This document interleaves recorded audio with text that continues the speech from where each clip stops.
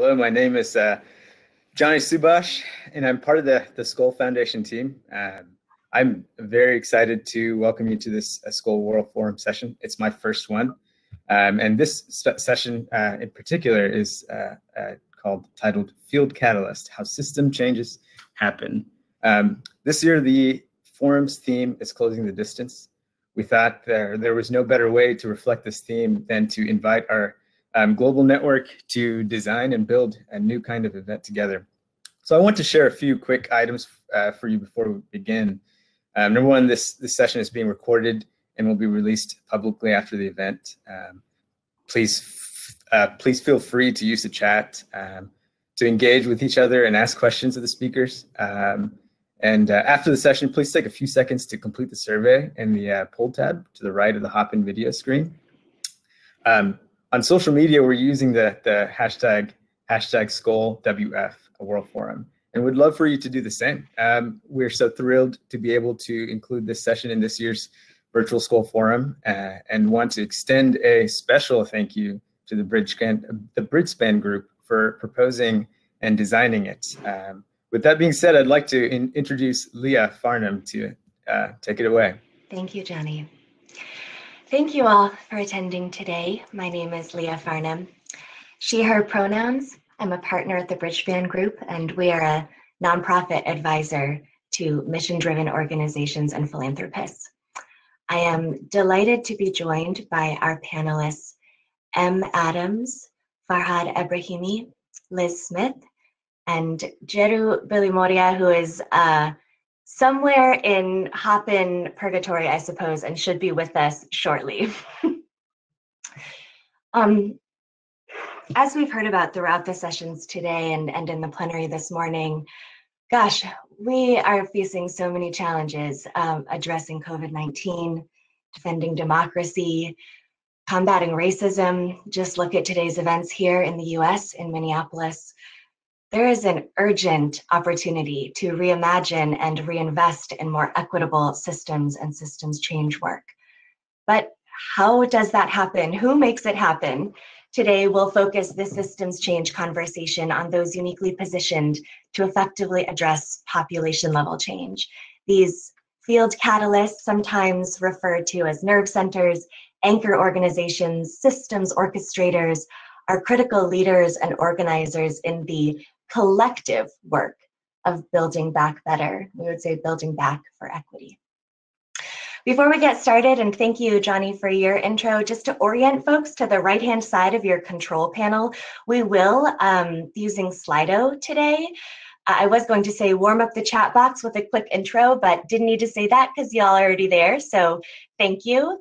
Um, and I will note there, there's a tab on the far right side. It says chat, polls, people, Slido.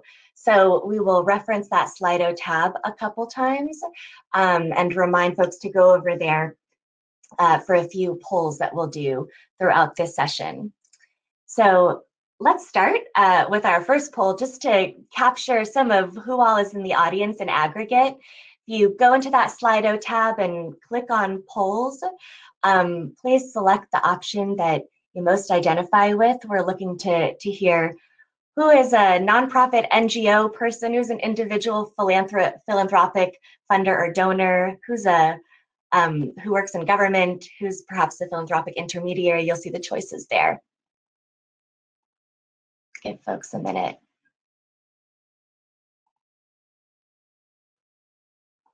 Be sure after you click, scroll down and hit send, the green box on the bottom of the poll. Lots of nonprofit folks, looks like 63%, and then a mix of uh, individual philanthropists and donors, philanthropic intermediaries, media, government. Awesome, thank you. Um, so in terms of structure for this session, let's get moving. We'll start with a brief overview of the research we've been doing at Bridgespan on the unique role field catalysts play, and then we'll hear from our panel, who will share their insights and experiences.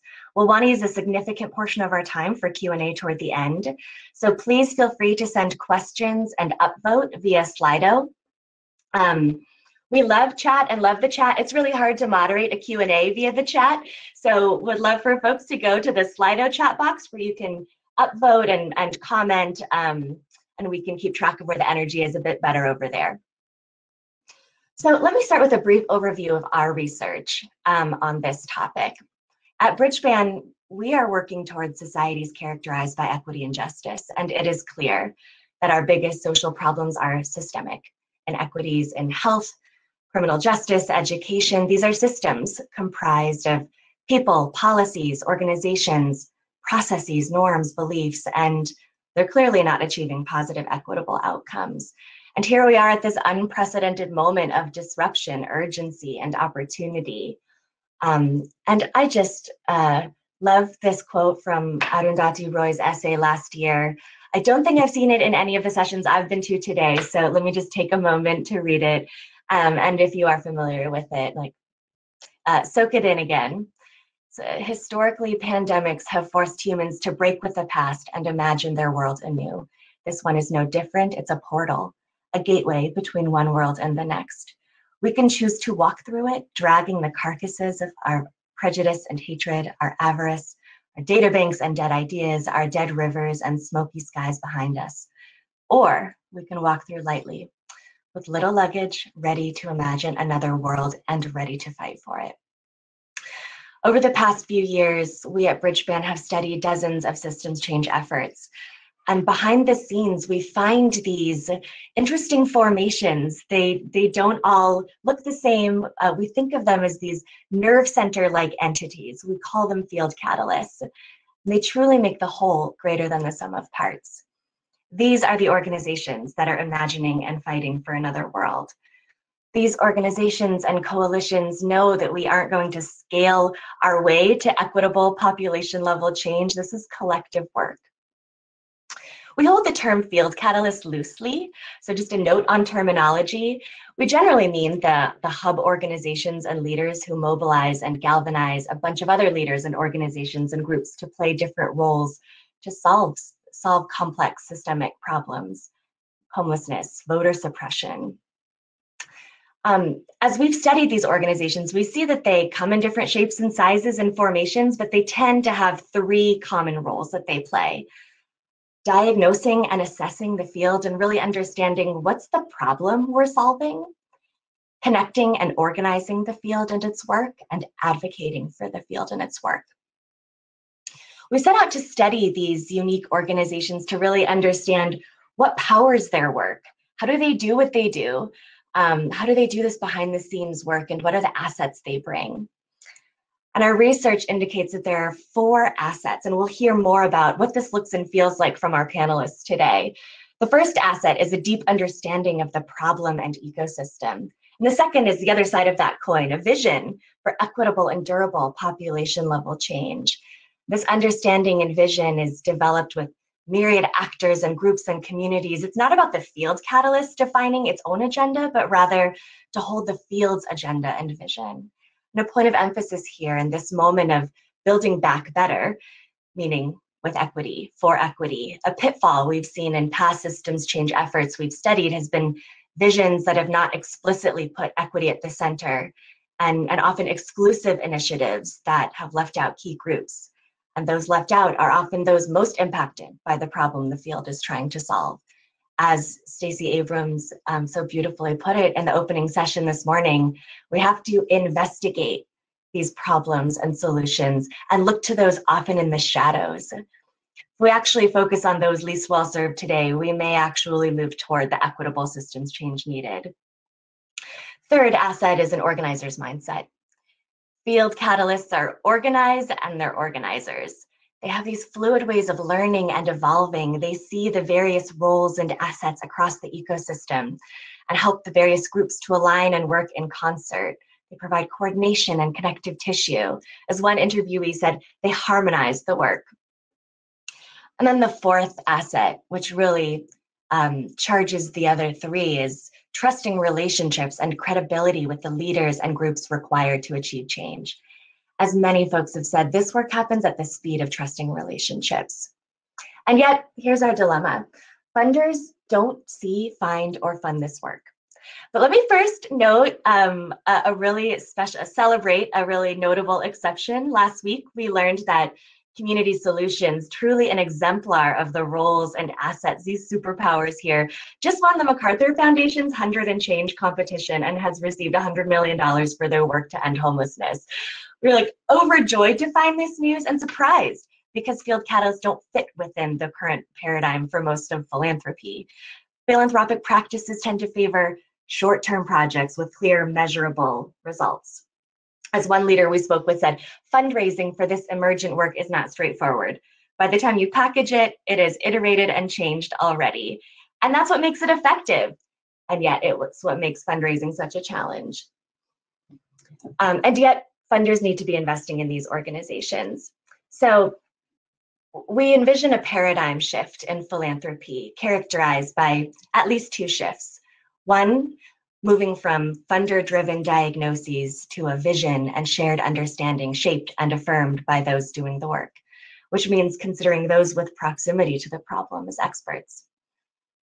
And secondly, moving from what can feel like transitional, transactional relationships between funders and grantees to more intentional partnerships based on trust.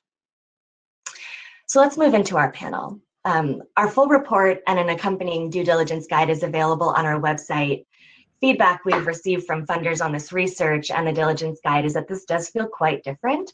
This new paradigm is essential, and yet, what does it really take to move into that new paradigm? Looking for organizations doing this catalytic work and with these superpowers is different. It requires new mindsets, new roles, and it means funders need to get out of that driver's seat that's gotten quite comfy for so many over the years. So with that overview, let me just pop over to the Slido channel for a minute before I turn it to our panel. What organizations come to mind in your fields or otherwise as I was describing those unique roles that these field mm-hmm. catalysts play? And perhaps what funders are boldly moving into new approaches to support these systems change leaders? Liz, why don't we get started with um, with our questions for you and maybe in the next few minutes, Jeroo will be able to join.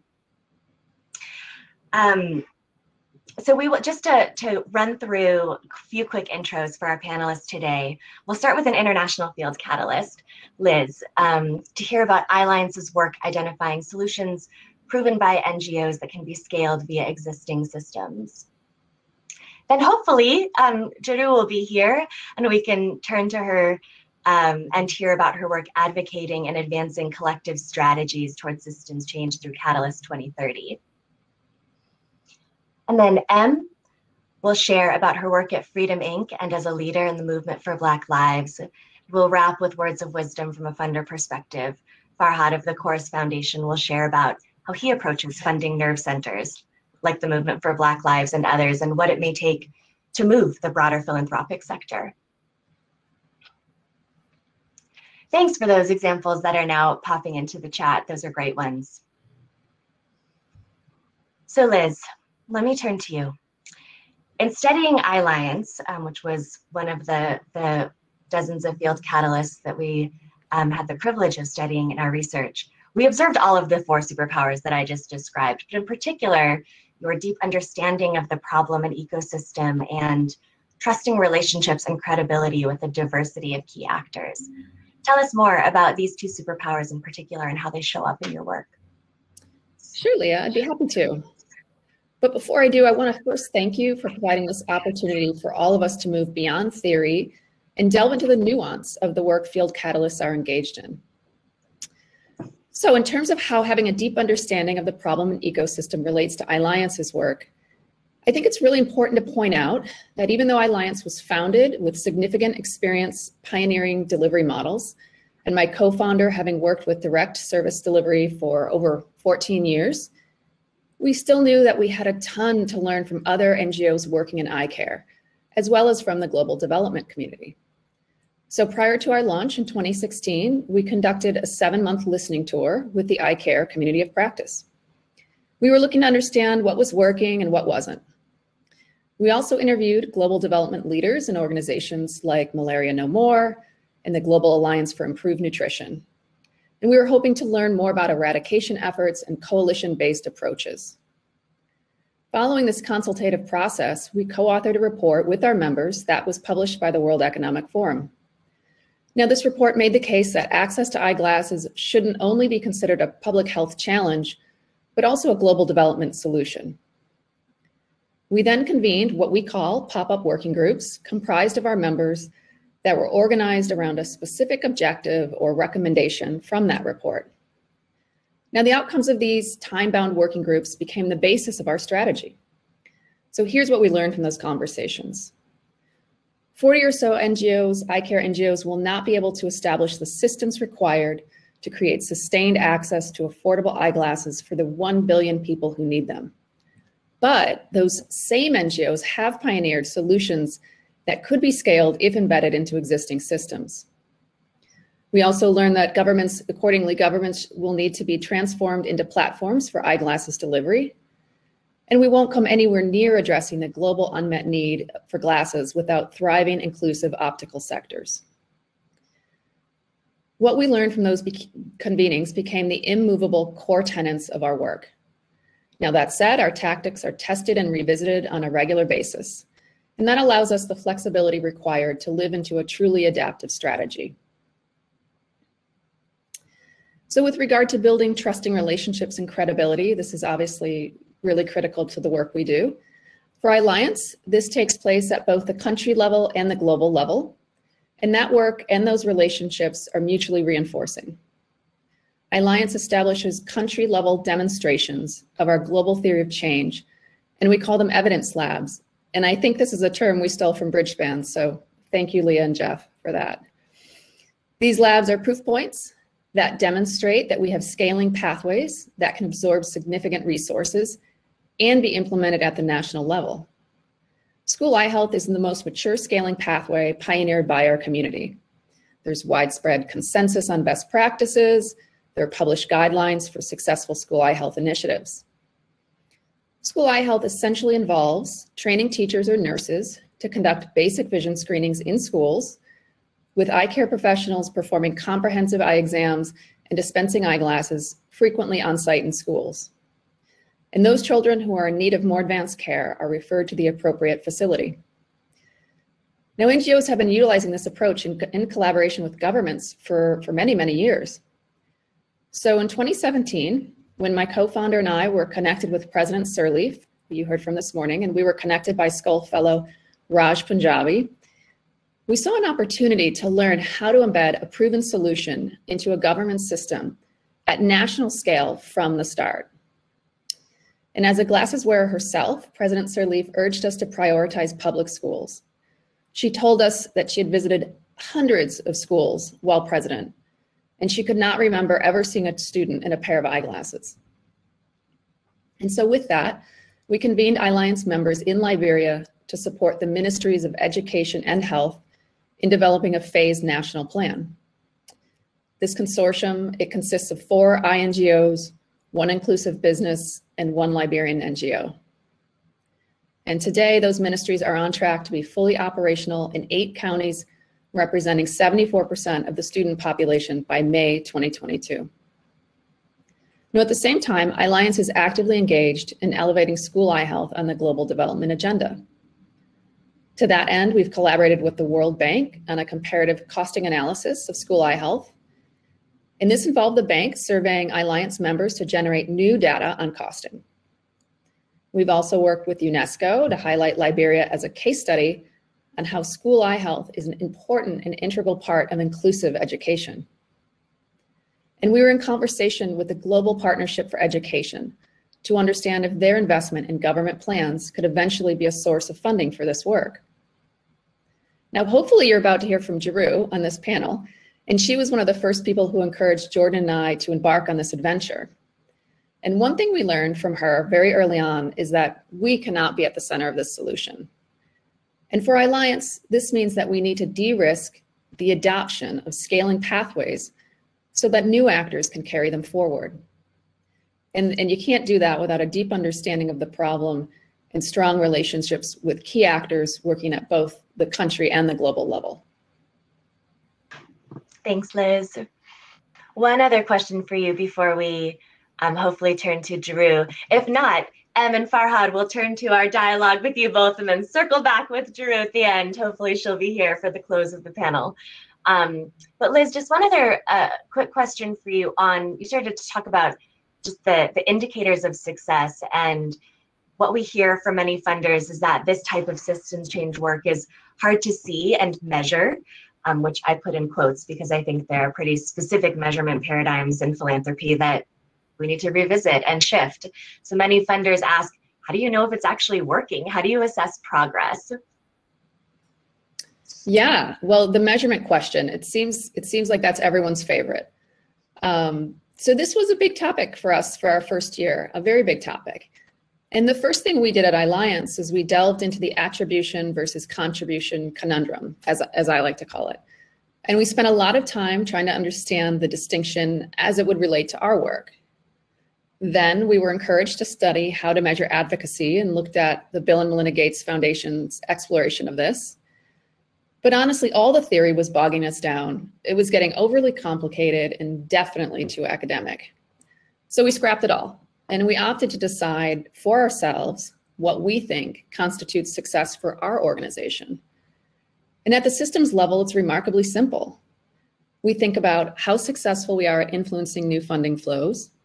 We track the number of new actors we've brought into the solution and as part of that, we also track, act, track actors who are already engaged in the solution, and we pay attention to whether they're changing their behavior or have elevated the issue area on their agenda.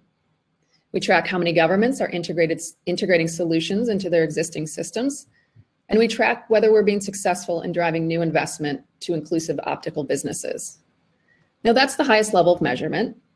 If funders want detail on potential near-term change, we will draft short-term milestones but we're always clear with funders that instead of delivery targets or even achieving those milestones, our work is in service of a learning agenda. Now, this is what makes sense for our organization. And yes, it looks very different than dollars in and glasses out. And it definitely requires more patience and flexibility.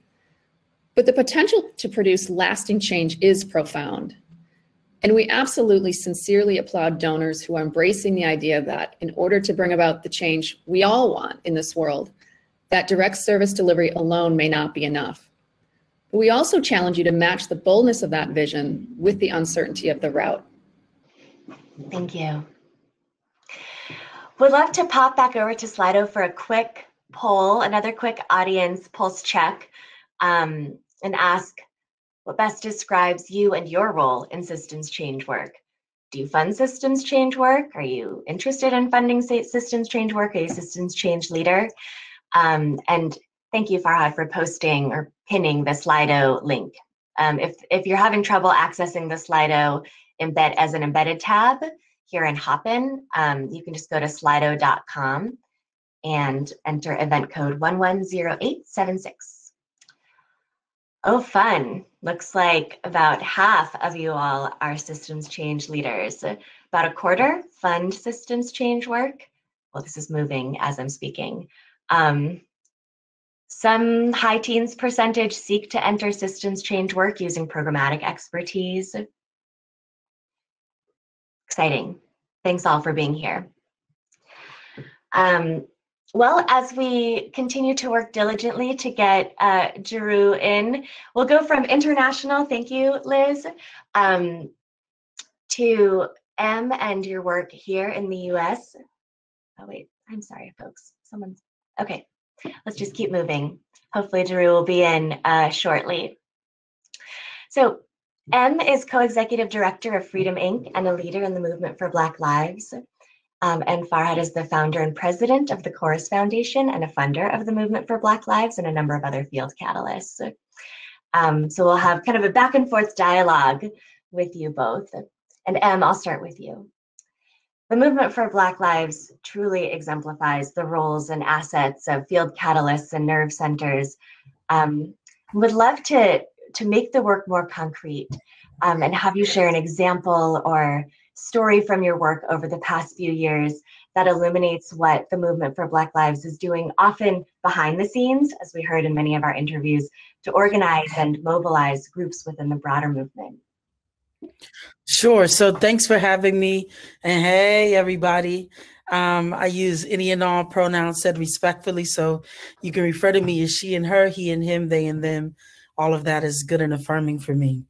So yeah, so I I was thinking about this question and like a million things uh, came to my mind. So I'll quickly give you a few examples about what we do together. So what holds us together, and we often say, and I borrow this language from Ash-Lee Woodard Henderson, who's one of the leadership members of the Movement for Black Lives and first Black woman executive director of Highlands Highlander Center.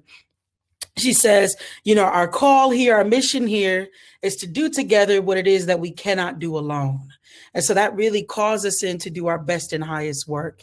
Um, and so just some examples of what some of that work looks like together I think about just what took place a few months ago um, due to climate crises, uh, what happened in Texas, where so much snow um, fell and really caused devastation to so many people's lives. I think about the leadership of uh, Colette Battle and V. Gunder, who are just incredible Black feminist climate leaders. And they helped to organize with local organizations and made sure that over 40,000 people were called um, just to check on folks. How are folks doing? Organizing to get water where there was not water, organizing to get people food, organizing to help support people in wellness checks to see, you know, hey, we haven't heard from so and so at this house. Let us go and check on them. So, really organizing, putting boots on the ground. Um, using organizing, thinking strategically about movement building to make sure that boots could get on the ground to really meet people um, in dire times. And so there are so many examples of that kind of work that we do together, the unseen, the not, I guess, not talked about, not as broadly public facing work that happens and can only happen because we are joined together as an ecosystem and are committed and share a set of ideological values um, and practices that drive our work. I also think about um, the incredible ways that we support one another through urban rebellion. You know, I've got to tell you, myself and many other leaders involved um, in the movement for Black Lives, we've been very busy um, thinking about how we're responding on the ground very, very soon to the results coming out of the Derek Chauvin trial for his murder of George Floyd and also the other things that have happened recently um, in Minneapolis. And so some of that unseen work hours upon hours upon hours of collective study, both before the moment and even during the moment to ensure that we're moving collectively in the strongest strategic way. It is direct support to organizations on the ground. And I want to say we're the people giving the support are the organizations, right? There is no invisible army. The same 160 member organizations are the ones showing up and doing this work with one another. So there's a different kind of weight to it. So giving support to organizations on the ground, whether that is extending people power, strategy power, resources, food, time, capacity, sharing and collective action, targeting uh, targeting um, officials together, proposing legislation, fighting for policy together. It's quite a number of things um, that we've done. And the other thing that I'm really excited about um, is not only do we know how to come together in these really big moments of mobilization that call us in because of intense crises, we also know how to plan big things together and execute high level organizing projects. So, very shortly, we're going to be launching our local power project. And our goal is to ultimately be in 20 to 25 sites. So, those can be cities or rural areas, regions in which we're working with local Black organizations, members of the Movement for Black Lives, to engage in campaigns that seek to weaken the prison industrial complex and build up the alternatives that our communities deserve. We'll also be engaging in some leadership development work. We'll be doing some um, mass organizing in those sites and mass engagement work nationally to talk to as many folks as we can about the incredible work in moving toward uh, abolition. So those are just some examples, just a few examples of how we think about how to leverage our power with one another and how we, the organizations, put our boots on the ground collectively to advance um, as much work as we can as a unit. Thank you. What powerful examples and so incredibly timely. Um, Farhad, let me turn to you. Uh, many funders ask us how you actually find, understand, support these organizations. What's your approach? Well, first, I just really want to appreciate being on this panel with M because you know, if folks are tracking what's happening in the United States right now, the the folks at the Movement for Black Lives are are are very busy in anticipation in terms of what might be right around the corner, um, and so just really appreciate you joining us today, M. Um, in terms of the the Chorus Foundation's approach, I want to start by naming that our approach has evolved over the past 15 years. Uh, we started with you know what you might consider a traditional issue focus on climate, but really shifted to an overall framework around building and shifting power. And that's not just the framework for what we fund, but it's also the framework for how we fund it. And ultimately, um, how we think about challenging our role and our legitimacy as a philanthropic institution. Uh, so in terms of what we fund, our grantees are organizations and efforts that are building and shifting power in communities that have historically had power wielded against them. Black folks, Indigenous peoples, immigrants and refugees of color, and working class folks more broadly. Uh, they're building and shifting political, economic, and cultural power for transformative systemic change. And many of our grantees frame that question of systemic change in terms of just transition, uh, the idea that systems change all the time, but while transition is inevitable, justice is not. Um, and the way I like to put it, if you're getting thrown under the bus, you don't really care if it's solar powered or not. And so these are the, the folks that we support. But like I said, it's not just who we fund, it's how we fund. Um, I want to start by acknowledging that funders have a tremendous amount of power. We don't always wear it very well. In fact, I'd argue that that we have a lot of challenges holding our power accountably. And and and the name that what is, I think, for some an uncomfortable truth that philanthropy itself is often one of the biggest obstacles to transformative work. It is possible, in fact, to fund the right things in the wrong way. So what do we aspire to do instead?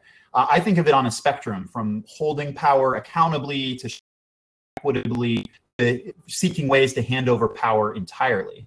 And so when I power accountably, I mean what folks may associate with trust-based philanthropy, building open, honest, trusting, and even vulnerable relationships with grantees and community members. Uh, things like making long-term, unrestricted commitments to organizations.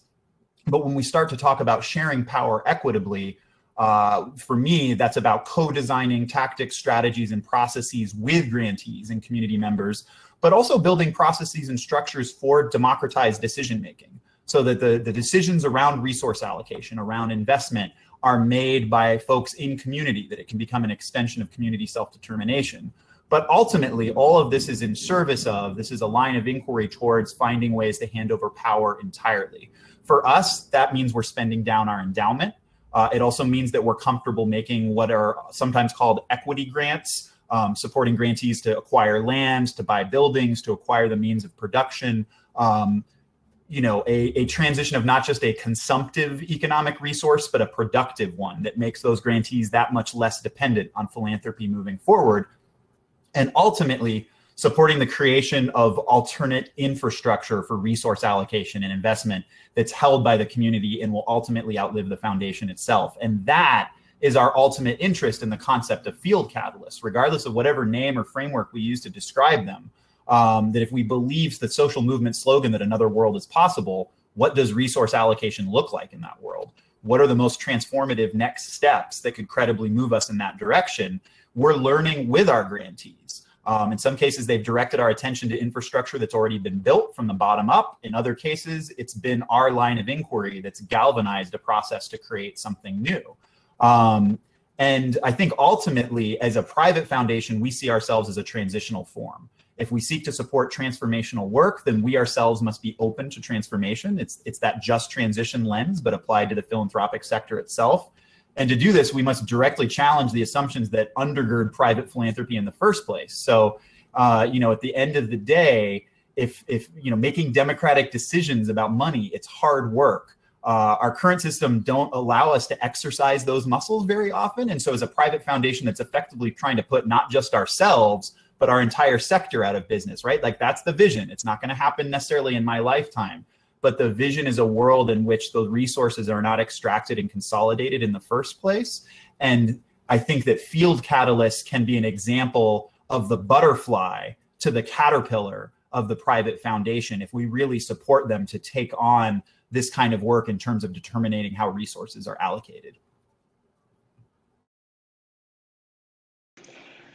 By the way, folks, Farhad has a way with metaphors. So uh, you have a lot of good ones. Um, the other one that I, I tend to quote you on is uh, philanthropy tends to fund um, like fantasy baseball, looking at the stats, but we approach it like just got to go to the park and play catch. Um, love, love that vision. Thank you. Thank you for all of that. Um, and let me pop back to you for a minute. You know, one of the incredible, I think, uh, parts of the movement for Black Lives approach is both holding that big vision for Black lives and Black liberation, and also an adaptive agenda that has more concrete pillars. And with the alignment of over 150 members, um, what does it actually look and feel like to manage this? How are decisions made on things like priorities or resource allocation? Give us a bit of a, a feel for what the, the work actually looks and feels like, so to speak. Uh, that's a big question. It is um, a mighty project um, for sure. So, you know, we really strive to build and operate with the structures and the practices that we want to have reflected in the broader world. And so sharing power is extremely important to us. And, um, you know, we have three ideological pillars. So one of them is Black queer feminisms, uh, the other is abolition, and the other is anti capitalism. And because I mention those to say they guide how we practice things with one another. So, as feminists, we think a lot about how we share work responsibly. We think a lot about how to, um, we think a lot about how to care for one another. We think about the care economy, right? Somebody's doing the labor of making sure that somebody's okay and that people can show up and be their full selves. We think a lot about, um, ensuring that particular all different types of labor are mm-hmm. being valued and a host of other things and so because we are thinking about this critically we really do a lot of work to democratize this decision making. So we don't want to replicate structures that have led to just a few, right? A rule of a few. So we do a lot to create structures where as many organizations as possible can have meaningful input in decision making about the projects, priorities, and the decisions of the ecosystem. And so currently the way that we're structured and have been structured for many years is we really rely on a table structure. So we have different tables which are basically coordinating spaces, if you will, or spaces where organizations come together and focus on a particular strategy. So we have policy table, a base building table, electoral, abolishing patriarchal violence, mass engagement, and cross movement. So these tables are how our members join and participate and work together. The tables have a lot of power. The tables are where the work happens. The tables are where the organizations show up and say what they want to work on. And so the tables decide um, first of all, the membership decides, like, oh, you know, we do want to work on these particular areas. And then membership uh, determines what the work of those tables are. So it is the members, the people, the organizations on the ground, the organizations advancing the work are the ones who say, yes, we want to do local power, for example, or yes, we want to do leadership development work. And here's how it's going to look. And they engage in a democratic process to determine the priorities in order for us to act as a whole and not just a group of siloed tables, what then happens is there's a leadership team chosen by those tables that comes together to facilitate coordination across the ecosystem and shared decision making. And so that space is really important. It's how we it's how we assure that we're moving in the same direction or a similar direction um, as one another. It's also how we leverage ecosystem wide priorities so that we can have our biggest impact together. And similarly, our budgeting process mirrors that. So, as big and perhaps as full and robust as that structure sounded to determine what project we were going to do, is as big, is as full, and as robust as our budgeting process. So, it is not a fast process. so, it is not something that we that is determined overnight. It is something that takes a few months for us to do because it requires that each organization has uh, opportunity to weigh in on the table's work and determine um, what they think is the priority of that. And then uh, codify or tr- translate that some way into a budget. And then the leadership of those tables come together and develop a shared budget to say, all right, so your table wants this, your table wants this. Where we where do we have overlap? Where do we share priorities? And what are the things that we cannot prioritize, perhaps because we don't have resource enough? So it's quite a robust and big and full process, but we think it is the right way to do it. We want it to be democratic. We need the organizations and the people on the ground who are driving the work to decide where the resources to flow. We think that should also happen in society. And so um, we err on the side of um, involvement and accessibility, um, even if it takes us more time to do it. But that means that our work or the end product is just that much stronger. Thank you. Powerful and concrete examples. Um, thank you so much for that, Em. Farhad, let me turn back to you. And I will note in the chat and in the Slido, there are a number of questions that perfectly tee up this, this second question that we have for you. Um, and you know, I will note that in our research on field catalysts, and many of you in the audience who identify as field catalysts, I suspect this is not surprising, but these organizations are routinely underfunded. As I said before, they're not seen or funded, um, and, and, certainly not at the levels necessary to do the full breadth and depth of work. Uh, and funders name a set of barriers that we would probably call kind of technical barriers, like measurement or looking for specific areas of focus aligned with their specific programmatic angles or strategies. So, Farhad, tell us, what will it take to shift the sector such that more funding flows to leaders like Em and Liz and Jeroo, who we'll hear from next?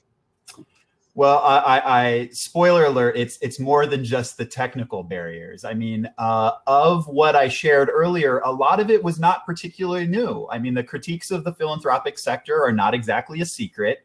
Uh, many of us can recite the lists of best or alternative practices from memory. Um, but the fact is, knowing what we can do differently, those technical things, while clearly necessary, remains woefully insufficient.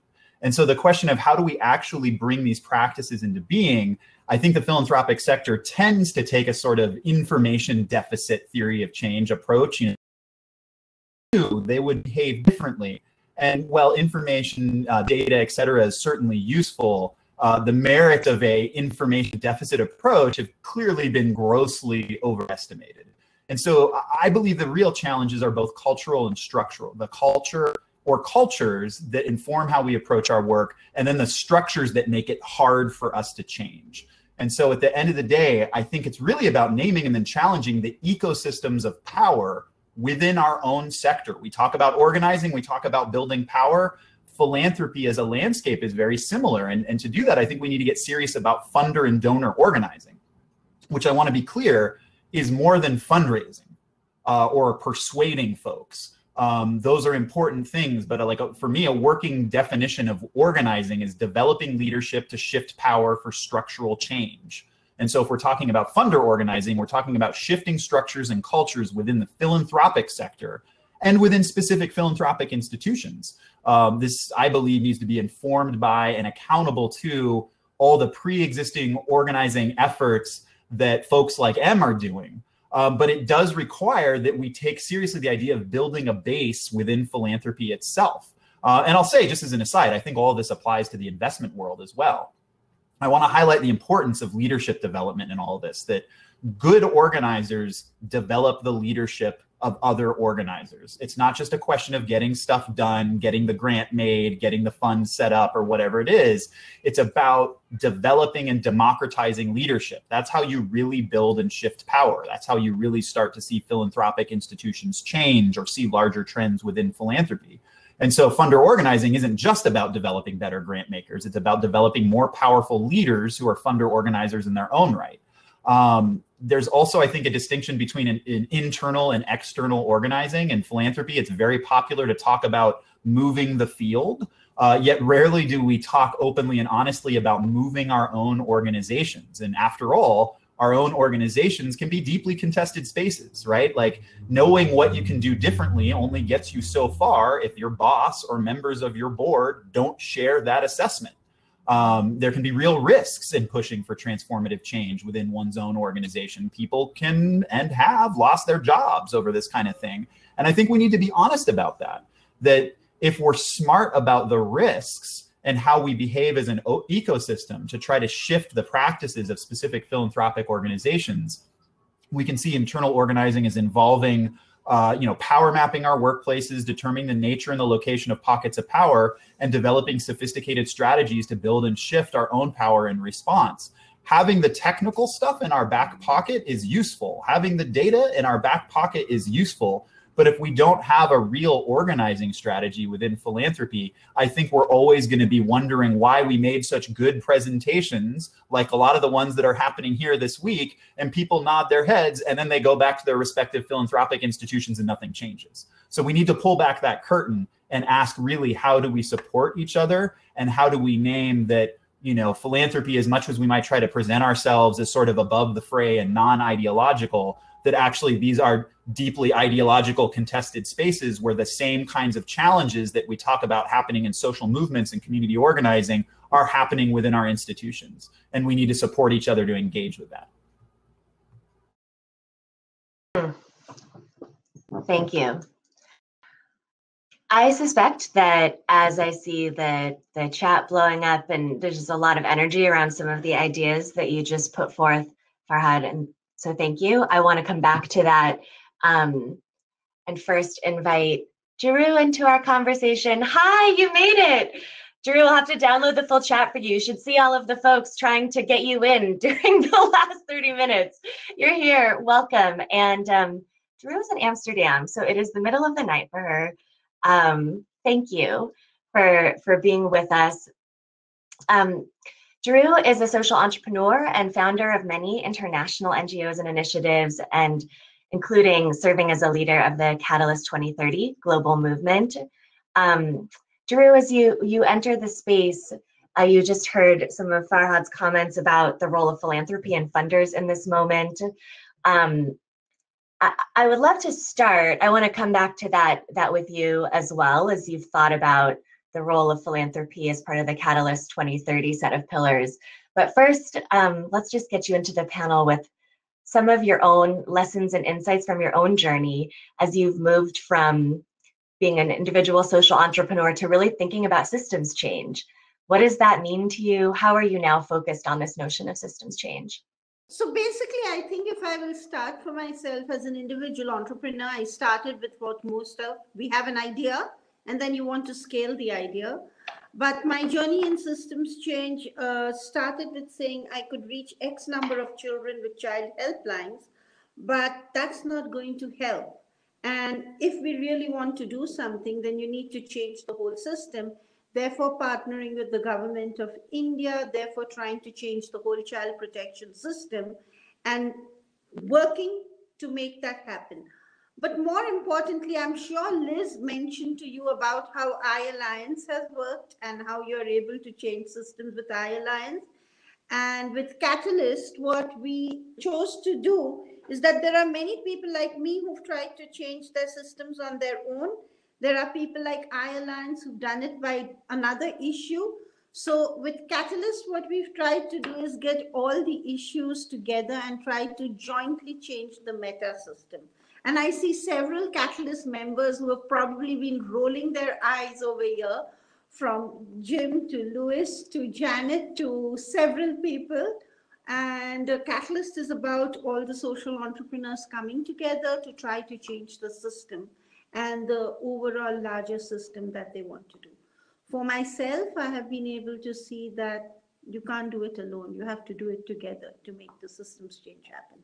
Sorry, I'm jumping into the conversation. I don't know what has happened. So I may be a bit off tangent, but hey, I'm trying to get into the flow. Apologies. No, thank you. I know that's tough, especially after battling with the technology for the last 40 minutes. thank you, Jeroo. Um, and would love just one more minute from you. Jeroo, you've thought a lot about um, the role of funders and Farhad you use the phrase funder organizing. Um, and Jeroo, as you think about the work of Catalyst 2030, would love your take on the role of funders, how funders need to show up, this notion of funder organizing, but also are there bright spots? Are there funder leaders that we should be looking to in particular for the international work that you've been doing?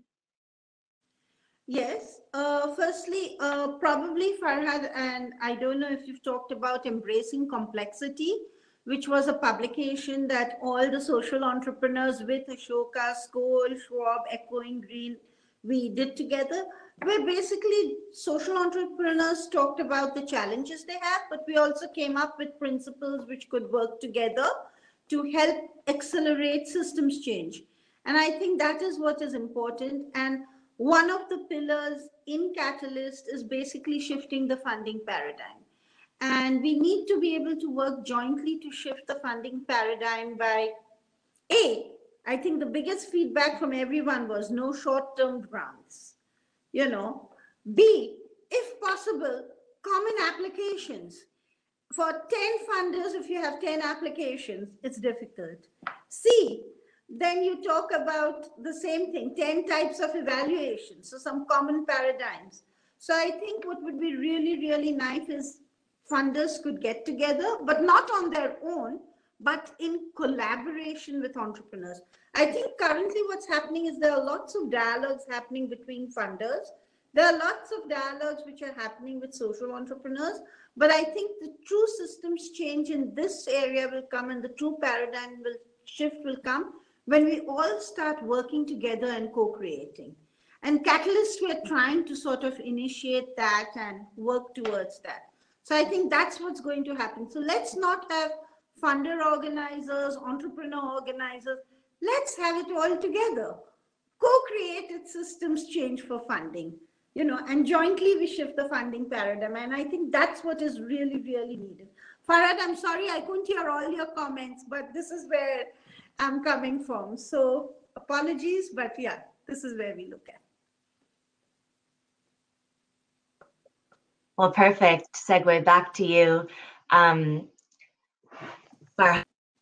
and I think the uh, the th- common theme with what you were sharing earlier about really being in and what you were just saying, Jeroo, being in partnership, being at the park playing catch, um, how you as a funder actually show up and and enter into those spaces, and then Em and Liz would also love to hear from you. Oh, thank you, Farhad. You just put in the chat. Would also love to hear from you all. What are the most productive and supportive ways that funders can and should be showing up for your work? So Farhad, did you want to start us in there and then we can go to Em and Liz? Well, I just uh, want to under, it's such a simple thing to say, but want to underline, I think, how important taking a, a relational and trust-based approach to philanthropy can be, because I think, for example, you know, looking at the Slido, uh, 77% of folks, right, said that one of the biggest barriers was around approaches to, to impact measurement. And I think one of one of the challenges with um, a sort of more mainstream technocratic approach to philanthropy is, is is me as the funder believing I have to be one of the smartest people in the room and I have to come up with or embrace these metrics that are then going to have a transformative impact. And I think for me, like a, taking instead an approach of of a sort of um, a radically humble line of inquiry that why you know why do we want to measure impact? We want to learn from and understand the work. We want to know that it's effective, but so do our grantees so why don't we start by asking them how they learn from and understand their own work? And instead of putting the onus, as Jeroo was talking about, for uh, a, you know a single organization to have to understand all the different applications and all the different metrics of all their different funders. Why why don't we put the onus on me that i have to understand all our different grantees have different ways of talking about their work and different ways of understanding if it's working or not? That that should be my job instead of trying to be the smartest person in the room and determining the right strategies and tr- treating grantees like like service providers if i'm actually out there and building relationships and building relationships like as, as a whole person right? When we when we talk about trying to move board members um, my best example in terms of around po- what political education looks like for my board members is them at the eastern kentucky social club which is which is a um, essentially like a, a, a longstanding black social institution in Eastern Kentucky, uh, sampling local moonshine and listening to old labor songs on a banjo, like bringing my board members into a position like that where they're actually spending time, not just with the executive director of our grantees, not just with their staff organizers, but with the members in community and spending time as whole people. I think that's actually really, really important. And there's an alternate approach to philanthropy, which I have a lot of critiques of, that is very button up and professional and says it's inappropriate to do that. How, how, you know, sitting around drinking moonshine with community members, like you do that on your own time. I actually think it's part of our job because if we don't build those kinds of relationships, we're not going to hear about the work in a really sincere and authentic way. And also, we're not going to get the crit- critical feedback when we're making mistakes. Um, a huge part of my job is hearing when we've messed something up, right? Like, I think one way to build trust is to say what you're going to do and do it perfectly. Another way to build trust, say what you think you're going to do, fuck it up entirely, and then handle it well when it's pointed out to you. Um, and I think with the amount of power that we hold in philanthropy, that's the kind of work we need to be doing. And that involves an amount of humility and vulnerability and emphasis on relationship and trust that is just not part of the dominant culture in the philanthropic sector. Um, let me turn to you. We'll also just add uh, thank you, Megan, for the question in the chat would love to hear more about what's been helpful or unhelpful in engaging funders in this work. Where have you seen positive change or response on the part of funders? Hmm.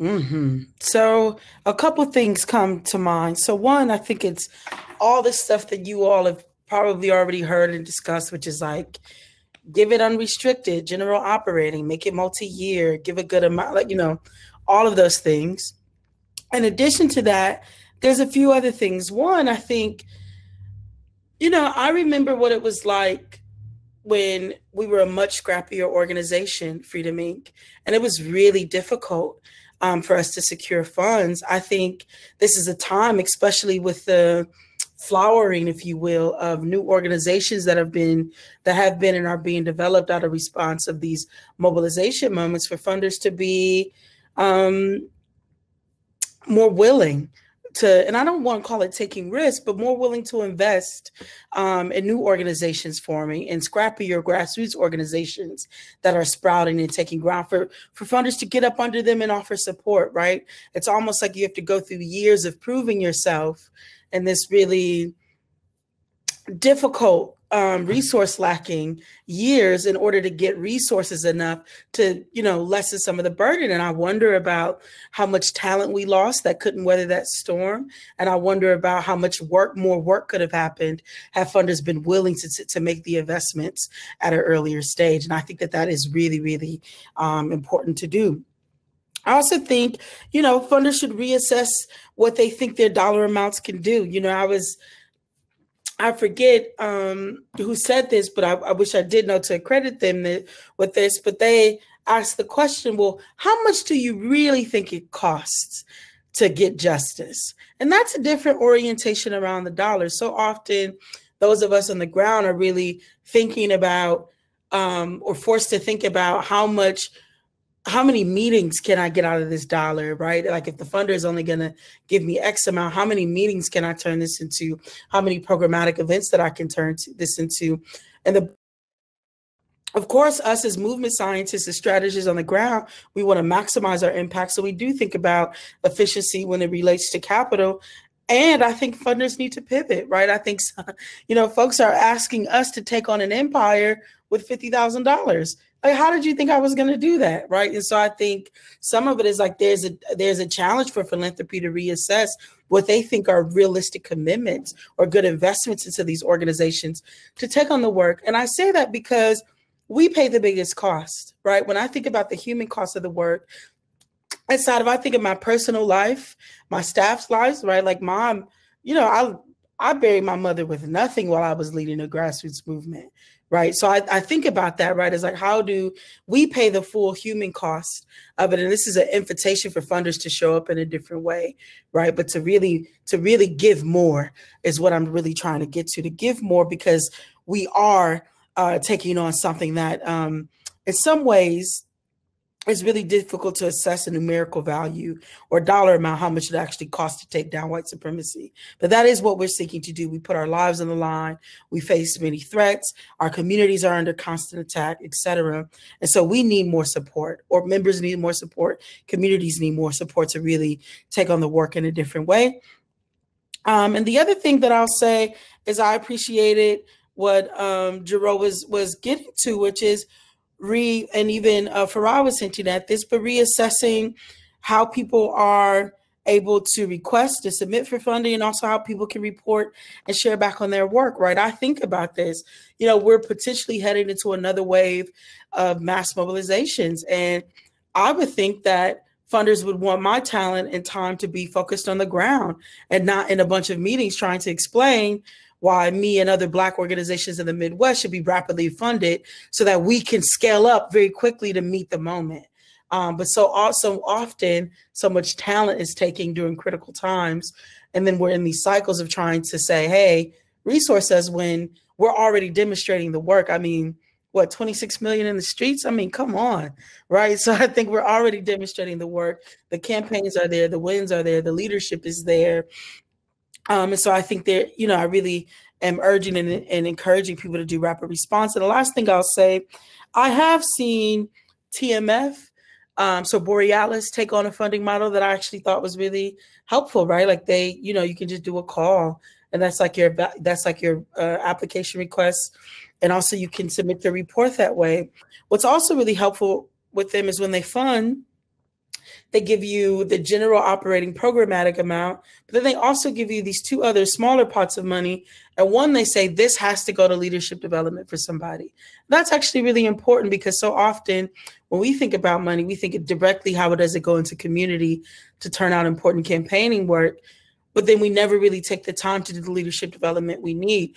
Through that experience, I was actually able to get a coach. I had never had a coach in my life, right? But with them saying, no, this $4,000, you got to use it for leadership development in addition to the money that went into the organization was actually really helpful. And they also offer resources for organizational development. So I think if funders really want and to invest in strong organizations, give what you were going to give for general operating, and then give other money, additional money to support organiz- organizational development money and also leadership development for people leading the work. Because we don't take that money out of their general operating. If folks are on the ground and committed, they're, they're putting all of that money into the field. So I think those have been some important practices. Liz, in terms of how funders show up how funders are supporting your work.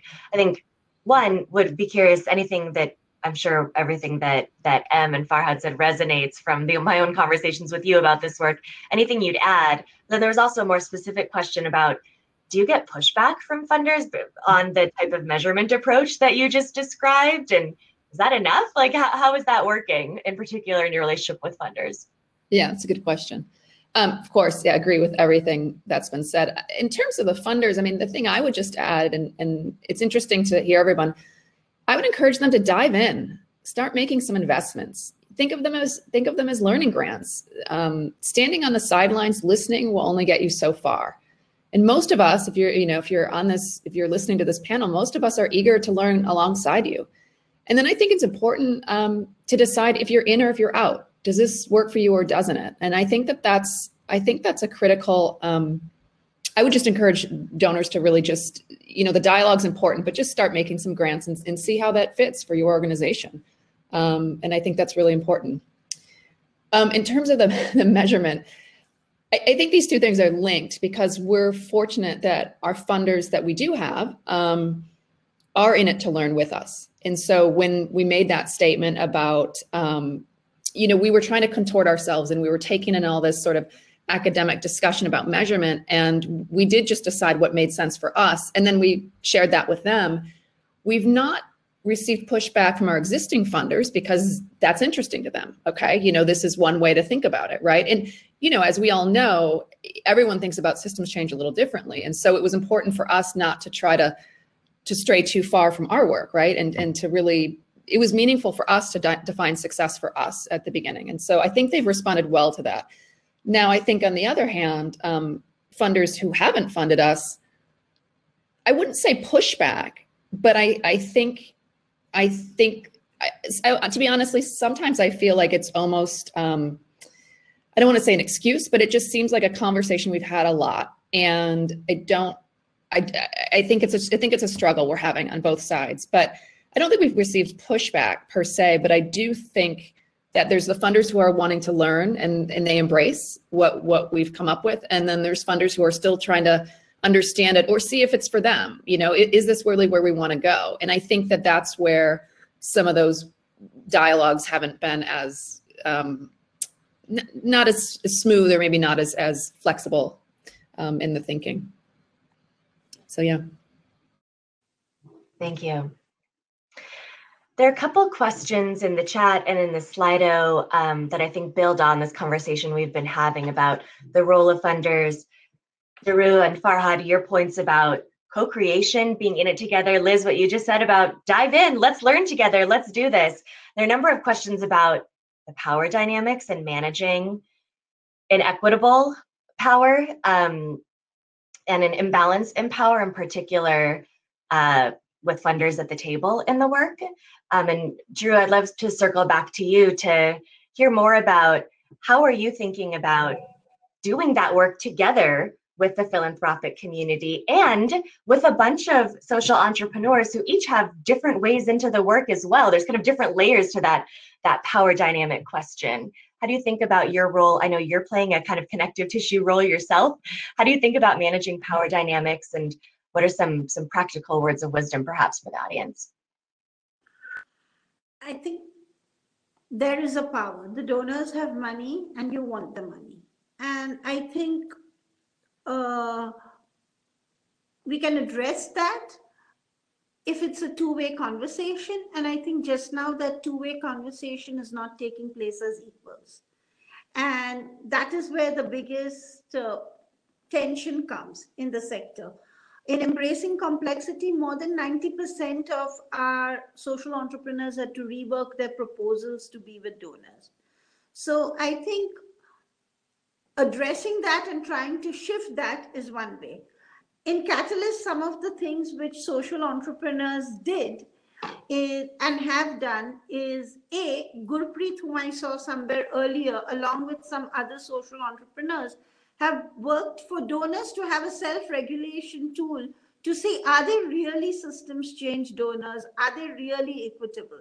So one is empowering donors in their own thinking process. And there can be courses to do that. Maybe we already have one, but maybe we can work to create. So that's one way.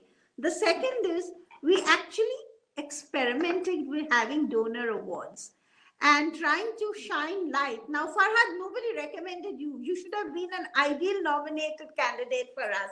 So next year, for sure, you'll be there, I'm sure. But I think it's a nice way to highlight donors who are doing things positively. So we were able to get that, and we have Catalyzing Change Week coming up, 4th to 7th March, where we are highlighting some of those donors and positive examples. So we can start hopefully having role models like Farhad, like Tim, who I saw in the conversation earlier, like Skoll, talking about how they are doing things differently and then making the shift happen. I always believe that yes, you can keep criticizing, but that doesn't get anywhere. So why not work proactively and positively? So the strategy Catalyst is using is we will work positively, shine light on those who are really bringing about the change, and then ask everyone to co-create with us so we can change the ecosystem because otherwise this broken ecosystem will not work. So I think that's what we need to work towards. And hopefully after this session, we'll have more of that. Farhad, you're definitely going to be roped into Catalyst. You realize it, right?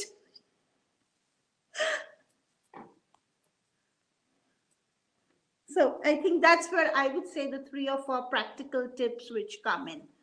Let's positively co-create. Let's try to shift the power dynamics by shining a light and let's give donors tools where they can have the self-reflection but also let's create practical tools and offer them to donors like say just one application for all of us you know and what you were saying we'll provide the evaluation criteria let's build on it so that sort of slowly but steadily brings about the shift that we hope to see so this is what i would suggest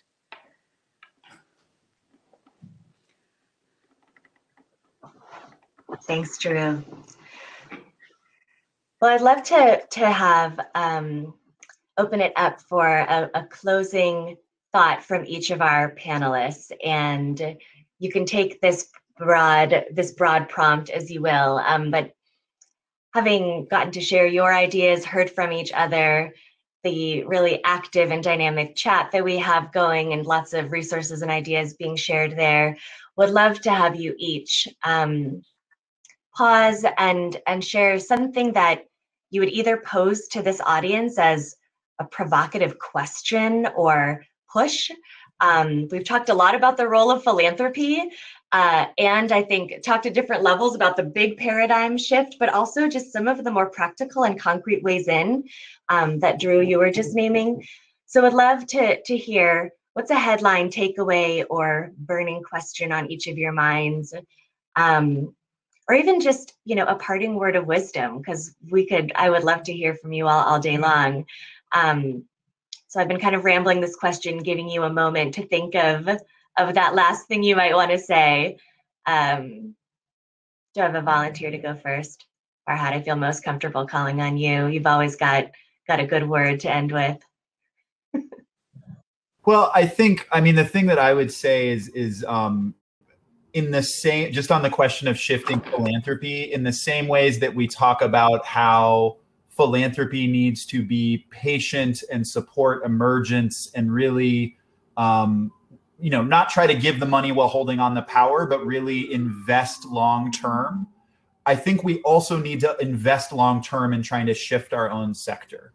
Um, and we need to be patient there and we need to commit to it long term as well because i think what often happens is um, we have moments of intervention we have momentary shifts but if we don't do that day-to-day organizing work we're never going to be able to move the resources in the ways and at the scale um, that the folks on this panel and others really need to support this kind of work. So it's both embracing long-term work on the ground, but also long-term transformational work happening in our own sector. Love that. Um, okay, I'm going to go in alphabetical order by first name. So, Jeroo, you're up next. Um, for me, I think um, the shift should come. It's not you or us. We want to bring about systems change. So let's change the system we are operating in by being a we. So co-creating, working shoulder to shoulder and solving the problems together. Because only if funders, governments, everybody, but especially funders and operate uh, entrepreneurs come together, will we be able to tackle the problems that are there today? So my simple word is not you, not me, we. We together bring about the shift we want to see. So that's that's it, I'll say. Liz? Yeah, I think um, you know, I heard someone a few years ago say that, and I think this is relevant since we're at the Skoll World Forum, I heard someone say that in order to be a successful social entrepreneur, that you need just to be a little bit arrogant. Um, and I'd say the opposite is true in this work. Um, and it really, what Jeroo was saying really resonates. I, I think the opposite is, is true, and you won't get far without humility and listening, really listening. Um, I think that's really important for people to take away. And I think the other thing um, that I that I feel like you know, I think is worth is worth taking into consideration when you're embarking on this work is is to not get too caught up in in the theory or the structure, or certainly not how others others think you should should work or how how it should look. Um, if you have a deep understanding of the problem and the ecosystem, set your north star, sequence the work, and set sail. I think that's it. Yeah. And I'll just underscore um, something I brought up in my last comments. Um, again, borrowing the words of Comrade Ash-Lee Woodard Henderson, who says, Fund us like you want us to win. Um, I see this as an opportunity as landscapes are shifting, shifting in a number of sectors for it to shift within uh, philanthropy. And I just want to highlight just some of the impressive work of movement, right? So organizations have done incredible work of turning states blue. organizations have changed the national narrative just within five years. Um, people have gone from thinking that the issue with the police should only be um, improving body cameras to now saying defund, right? That kind of ideological shift doesn't happen. Um, typically doesn't happen within five years. It usually takes a generation to change um, a national narrative from people winning local wins, such as removing police officers out of schools, slashing police budgets, to people running experiments on how to actually confront harm and violence inside of their communities outside of the carceral states. There are hundreds of examples of incredible organizing work um, that is happening. I'm just thinking about the incredible work of trans women organizing to stop violence against them and many other examples of just impressive work. And the work is happening, the possibilities are there. People are laying the foundation of what people need to support. So I'll just close by saying again, fund us like you want us to win. Hmm. Thank you, M. So I just put in the chat. That was going to be my closing quote. it's just such a good one, right? So thank you. Uh, thank you for preempting that. Gosh, thank you, panelists, for taking the time today, especially when there are just so many urgent priorities, particular in this moment. Um, thank you, thank you. And to the audience, thank you for your thoughtful engagement, your questions. I wish we could have gotten to all of them. Um, but this is this is part of a much longer and bigger and deeper conversation, a set of shifts that we're observing in the philanthropic sector. And we would love, and I know this is true for our panelists as well, to keep the conversation going. Please reach out. Um, our panelists have curated a set of resources that I think we put in the, the chat. So please take a look at those links for further reading and, and research um, and reflection. Um, so thank you again. It's with immense gratitude that we wrap today. Um, be well and enjoy the rest of the forum.